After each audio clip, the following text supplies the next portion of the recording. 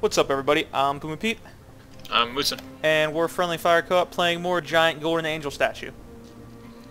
Oh, that's fun. Yeah, it's a new game recently uh, released by uh, Namco Bandai. Namco. Whoa, this place is awesome looking. Uh, yes, it is. Yeah, Na- why? Why was Na- why was the idea of Namco Bandai so shocking to you? Do they do they make games anymore? Don't they? Isn't just- is Namco Bandai a game company? I thought it was. Then why? What do you mean? Do they make games anymore then? I didn't know if they still were producing games. or- I feel like they do. Oh, look at that thing. We should look it up. That thing is quite large and in charge. He's like that dude that I talked about at the gym. Yeah. It's basically that guy. Oh, I also, Oh, I, look at this chest. wow, he also has a Oh. very large shield of blue glowing aura. The guy at the gym could also do that, just like make giant blue energy shields. It was nuts. Um, I like that we have the same hat on. I mean, we do kind of look the same. We're both like sultans As right now, like from uh, Aladdin. Prince. Uh, oh, he, all right. He explodes on death. He's gonna explode. Ow. Troll eater. You didn't believe me. No, I didn't get away fast enough. That's what happened. Uh, so the guy at my gym, um, I have a, a friend that's in a Navy ROTC, and uh, he came up to me. He was he happened to be lifting at the same time. I don't uh, lift with him. I lift with another friend, but uh, Yeah. he comes up to me, and we were he was he was lifting next to that super crazy jack I was telling you about, and he said that it was like really uncomfortable because the guy was just like staring at him and growling as he lifted. Like he was like doing triceps and just like staring my friend down and like making Uh, gotta noises that just apparently. yeah he was basically asserting his dominance. But uh, my friend came up to me and This told me just in. This isn't the jungle here. Apparently, Peter's gym is the jungle. you gotta, gotta yeah claim your you have to like fast. yeah you have to uh, like if if if you want to be the new king like the king of the lions like you have to kill the current king of the lions who uh, my friend is not the king king of the lions by any means but uh, the other guy could actually probably kill a lion uh, both in, in close range and long range because my friend comes up to me and is like you, you, we were talking about the guy and he's like yeah dude apparently he's an ex-army sniper Fun. yeah so not only can he easily kill you from like hand-to-hand combat just by like punching you once in the face really hard which i'm absolutely convinced he can do he could probably just end my life with one punch but uh if he doesn't get you up close he's gonna get you from far away oh my god that wall just turned into a turret Even the walls are angry. yeah that in really this cut place. I just imagine the walls having like a frowny face on them. They're just really upset. Like Those angry eyes. Yeah, they have like the- every cartoon. they just say angry things to you as you walk past, like, "Hey, I'm gonna get you," but I'm just a wall, and I have no legs. So they just or or they're just really like passive aggressive and they're just like, you look terrible today. it's just the hall of insults. They're like, "Oh, you're looking a little fat. You gained some weight there, buddy." oh, the life of an angry wall. the life of an angry wall, just saying mean, terrible things to people that walk by, by you. Oh my god, a moving turret now. It's the walls have they've gained sentience. when did that happen? Uh, literally five seconds ago when I first saw this thing. This is horrifying. Oh, they do they do so much damage. Oh my god. Do they? Yeah, I just almost The got annihilated. sentries? Yeah, for they just destroyed me. One of them is multiplying. Oh, the, the ground's angry in here too. It just shot saw blades at me. This place is very just not welcoming to their guests at all. This is horrible hospitality. This is what we get for going in random caves. It- no, it's a random blue glowing door. Even worse. E- Even worse than caves are blue glowing doors. This is like the opposite of the uh, the house in The Beauty and the Beast. where all of the like Oh, all- where's the talking candle? all of the everything is just really nice, and they like sing and dance and entertain Belle as she develops like the most romantic case of Stockholm syndrome in history. And it's very true. Yeah. Instead, everything in here just wants to kill us. It's like the scene whenever uh, Gaston wants to like storm the castle, and like the cabinets start like throwing pots and pans at him, and then the pots and pans come alive too because that's how the movie works. Just everything is. It's like the Toy Story of kitchen utensils, and they just start fighting him also. I have not. Is your pet on passive? uh, no, he's on defensive. Oh, are you saying that Franklin's not helping? I don't appreciate No, I'm saying. what you're hey, insinuating. I don't appreciate what you're insinuating. Man, I don't like that these walls move. Yeah, I don't like it at all. Oh my god, there's now circular ones also. Mobile spawner. We should probably kill the mobile spawner. Yeah, they spawn those little uh, helicopter things that shoot at you. It's becoming more and more like Toy Story now. Just shoots those little helicopters that you can get at the mall that like helicopter guy sells. That's like literally his job title is helicopter guy, and he just flies the helicopter around the mall. Do you think they're paid to actually just go there and use them in the mall, or do they just get so bored that nobody wants to talk to them? They they open one up and just I feel like try and use one. they, I feel like they play it because it's supposed to like attract business. If I Yeah. guess, like lure, they lure all the little kids in with promises of how cool the helicopter is, but like whenever you go to fly it, you have no idea how to do it, and instead it's just, it's just a toy of lies. I used to have one. Did like it one work? of the smaller like, ones. Yeah, it actually work it- like it did in the mall? Yeah. That's pretty cool. Yeah, it was good. Dude, I saw Kinda one guy, uh, one guy at the mall. Uh, I think he was working at like a sunglass hut kind of stand. But uh, just sitting there with his laptop. Is that like is that like the new kind of Pizza Hut, Sunglass Hut? yeah, they deliver sunglasses right to your door, and they also stuff the like rims with delicious Cheese. cheese. Oh, that guy's really scary. Come back here and look at him. I'll block off the That's path. actually an angry wall. That's the angry. I feel like, I feel like they're gonna come alive. If I have learned anything from this cave so far, is that everything in here is actively attempting to murder us. I feel like including the walls. Cutter is really, really a bad thing. Who's gonna Who's gonna make more of this awesome uh, masonry here? Masonry, Yeah. because your name is Mason, No, not me. but also Rock that. Cutter's dead. But also that. Rock Cutter is probably the Ow. ultimate rock paper scissors player, because he like is a rock that can cut things.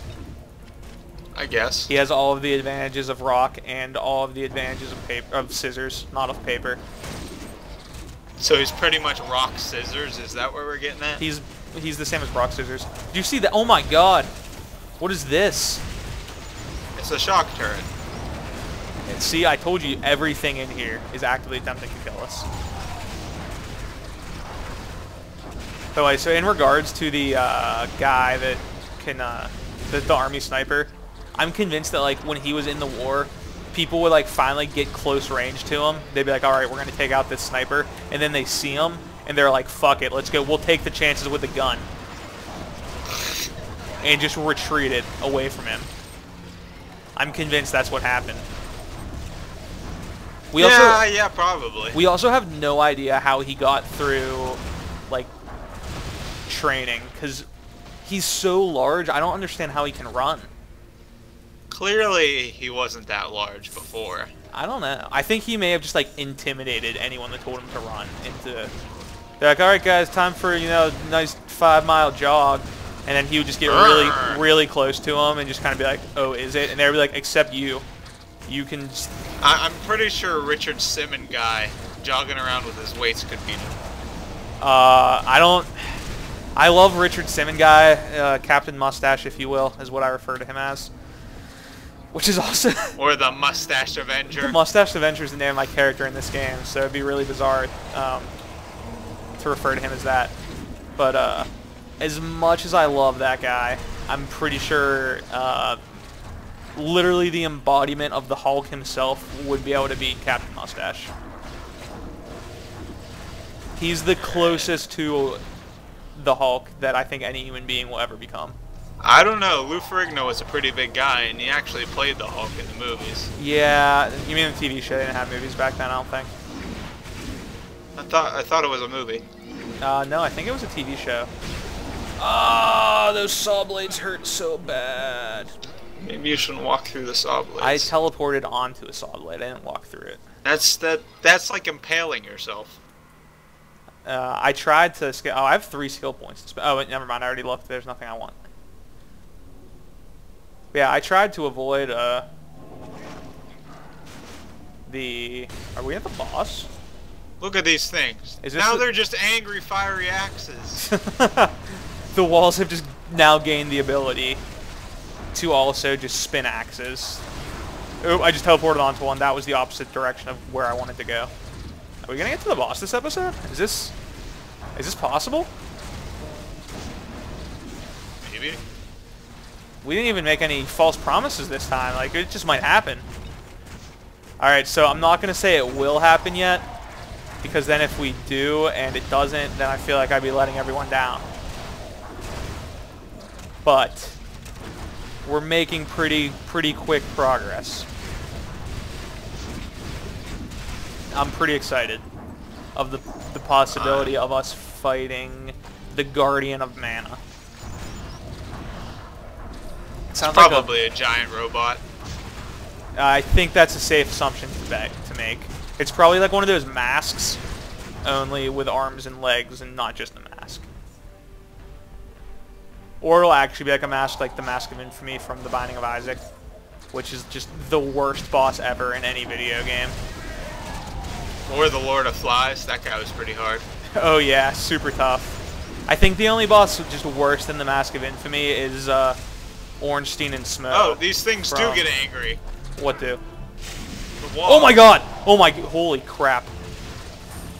That's the first time I've seen that happen. Yeah, shoot like blue laser. What's Ev over here? Everything in this place just wants to kill you. It's been confirmed. Um, I literally, oh, Ornstein and Smough, that is actually just like the worst boss fight in history the first time, like, the first time you attempt it. Like, I'm sure there are people on the internet that are like, oh, I beat it on my first time. You know what, guys? You're clearly much better gamers than I. Because that boss fight is so freaking difficult. I know you have no experience with Dark you know, Souls. You know what was a, uh, a hard boss fight? What? Sindragosa. Uh, that was a pretty terrible boss fight. Just ended all hopes and dreams we had back in the World of Warcraft days. And so did Boogie, disappearing. Yeah, we had a friendly friendly healer who just lost. We lost him to the the threats of the real world. I'm getting so many text messages right now about classes. I'm so much more popular whenever uh, it's like homework and test time. Ah. Yeah, I'm sure plenty of our our viewers can relate because I feel like it's probably a nerd thing in general. If you're I can. If you're one of the like smart nerds, not just like the video game only nerds, uh, I am more popular around homework and test time than any other time in my life. Like everyone wants to be my best friend when it's time to submit homework and such. It's literally the only time I, I will ever know what it feels like. I have like made a terrible mistake. Of staggering all of the things. There were about a billion of those explosive bugs up there, and I kind of face checked them. Uh, I'm surprised you're alive. These blue balls are really annoying. And, like, don't take Isn't that out usually annoying? Don't take that out of context. But yes, Mason, they are. It's a much, much different sense of the term, for sure. Uh, now I'm getting texts from my ex-girlfriend as well as my friends to help on the exam. My phone is out of control. Cab Mazar. What is I'm this guy? start texting cool. you.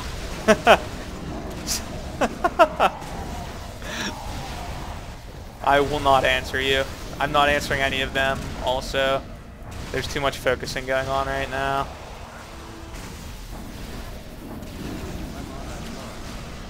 Oh, I found an enchanter up here. Oh yes, I love those guys. They're so helpful all the time when we're trying to fight stuff. All right, there's like a lot of stuff going on down here. If you want to come and like help me instead of enchanting your stuff. I was fighting stuff up there. Sure you were. By fighting stuff, you just mean getting enchantments on your equipment. I was doing that at the same time, but I was fighting things. I hate you so much. That's the first time that's happened in a while. That's actually was an accident, though. I meant to summon spores. That's what they all say. Um, maybe. I don't know if generally people summon spores. Yeah, you'd be you'd be amazed at how often that exact phrase is said to me. It's really bizarre. apparently, apparently Peter has revealed everybody is a mushroom. no, they they don't, they are not a mushroom. They just have the ability to summon like mushroom spores.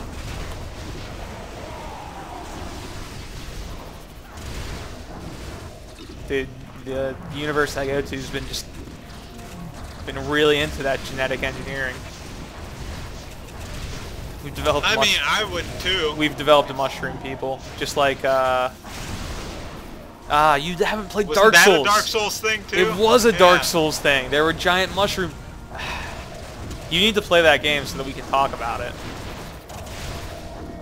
Yeah, and it's not like we're playing Cave Simulator for 2014. No, we're playing um, Giant Golden Statue with Angel Wings.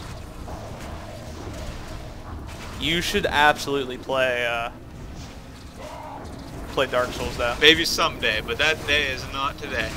Or you should just watch uh, Strippin play it because he's like playing through it right now on his YouTube channel. Who? Stripping? Strippin. More shout outs to people that are just way farther above us than we will ever be. Uh, Polaris, take this as a hint, please.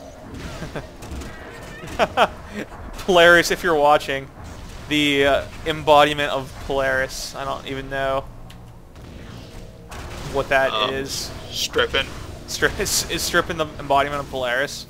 Yeah. I know he's the one who got Dodger of the show. Wait, really? Yeah. Um. Strippin didn't start Polaris, did he? Oh, I found a lever. Ooh-hoo! Secret room.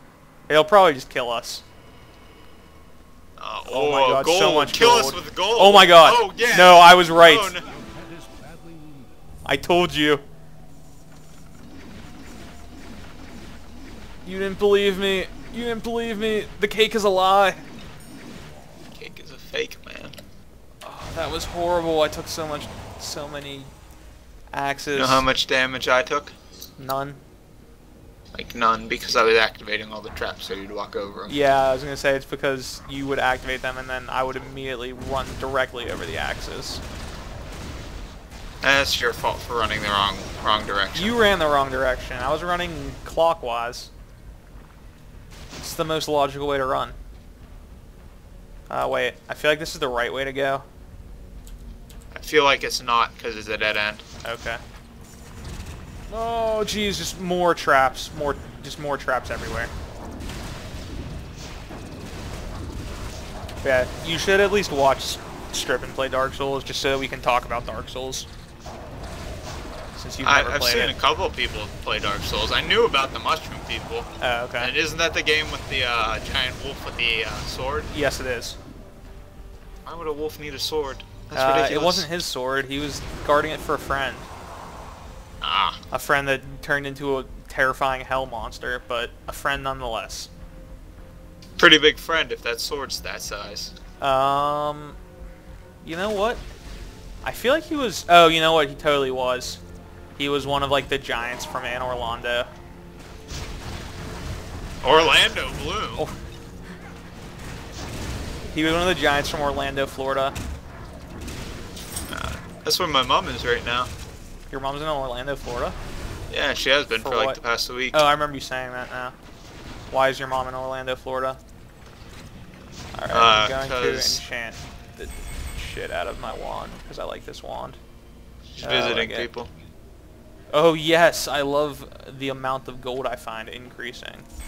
Let's enchant this I got too. luck. Luck And increase. This necklace.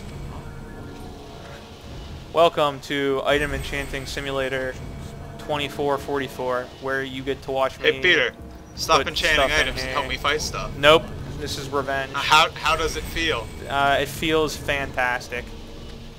Best feeling in the world. Why do you think I do it all the time then? it all makes sense now. Oh my god, I've used like all of my gold. I have to stop doing that. I had over 100,000 gold and now I have like 20,000. You're the worst, man. I enchanted a lot of stuff. I had to enchant my uh, Sultan hat. Oh no, they teleport. I need to He is the king of all the swords. We have to, you know, go introduce him to Mr. Quadax. You mean the king of... There was king of... There was the axe king and the sword king now. Mr. Quadax does in fact do the damage though. Yep. I mean, why else would you need four axes? Uh, to cut down four trees simultaneously. Ooh. I guess that makes sense. Didn't think of that, did you? Perhaps he's simply the king of lumberjacks. Well, then that's pretty impressive as well. I didn't even know, you know, lumberjacks had a monarchy. Yeah, it's by the size of their beards that they get appointed. Uh, I actually, I believe that that might be how their union works. Like a lot of unions function on uh, like how long you've been like at the company, but lumberjacks are just like you have the finest of beards. And therefore you shall be our king and our mentor and our god. And cut down all of the trees. Must chop wood. Barrel skeleton.